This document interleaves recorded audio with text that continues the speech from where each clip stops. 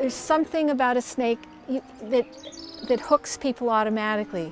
Either they're terrified of them or they're intrigued by this animal that has no legs and feet. They don't know very much about them.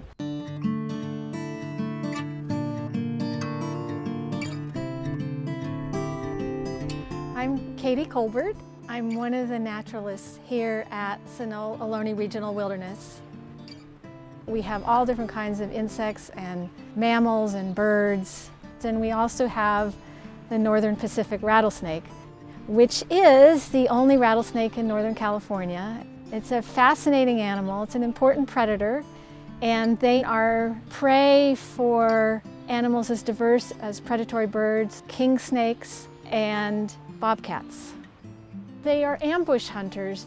They don't chase down their prey, they kind of wait for it to come to them.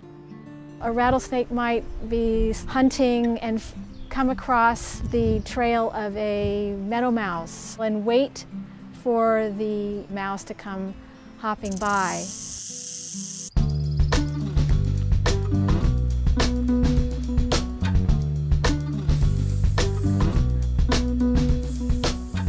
So in this project, my main goal was to try to start to see a landscape through the eyes of a rattlesnake.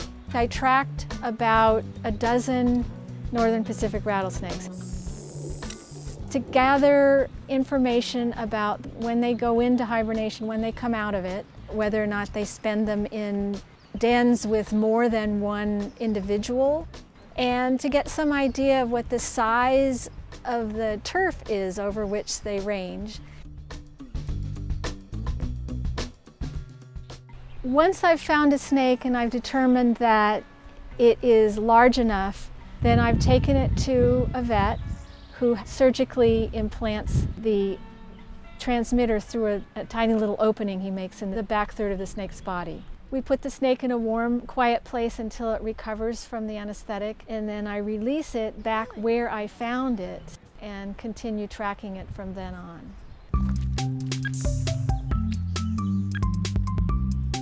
This is an example of the radio transmitter that is implanted in one of my snakes. And it sends a signal that is audible to the receiver that I'm carrying. Each transmitter is tuned to a different frequency, so the receiver can dial up a snake. So as I rotate the antenna around my head, I'm listening for a variation in how loud the beep is. So it's loudest over here, which could mean the snake is that way or that way. There have been times when I knew a snake was right in front of me somewhere. When you get close to the snake and the radio, it's a little harder to read the signal. I've almost kneeled on top of a snake. I learned that here at Sunol, the rattlesnakes that return to the same hibernaculum year after year after year. And to me, that's just, it's quite remarkable. I thought of these animals as having pretty random behavior, but in fact, it's not random at all. They get to know their home. And I think that's significant since we need to remove them from places where they're likely to have an unpleasant encounter with people.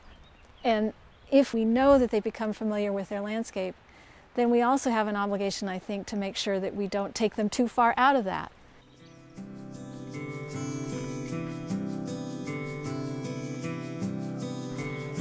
One of the unusual characteristics of my research is that I'm integrating it with the work I do with kids on a daily basis.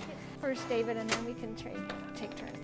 Okay, we're ready for you. I have taken children out to track rattlesnakes in the park, captured rattlesnakes and relocated them. I have been able to learn to work with individual snakes so that I can put them in a tube and give people an, a really up close look at a rattlesnake. Gently, gently, gently. People are scared of rattlesnakes and sometimes they will just kill them, even in the parks. We don't want that to happen.